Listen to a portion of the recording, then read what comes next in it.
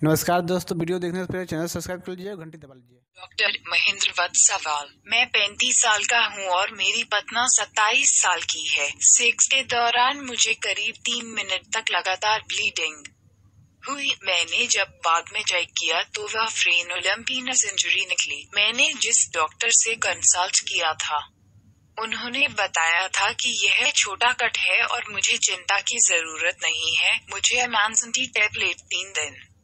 लेने की सलाह दी गई थी। साथ ही मुझे सेक्स के लिए सात से आठ दिन दूर रहने के लिए कहा गया था ताकि कट हील हो सके। आखिर यह ब्लीडिंग क्यों हुई? क्या मैं दस दिन बाद सेक्स कर पाऊँगा? प्लीज़ सुझाव दें जवाब। चूँकि आपने मेडिकल सहायता ले ली है, ऐसे में यह आपकी काफ़ी मदद करेगी। आमतौर पर यह कब तब लगता है जब बिना फोरप्ले के इंटरकोर्स किया जाता है। यह ड्राई वजाइना के कारण होता है। सेक्स के बाद अंडकोश में असहनीय दर्द होता है।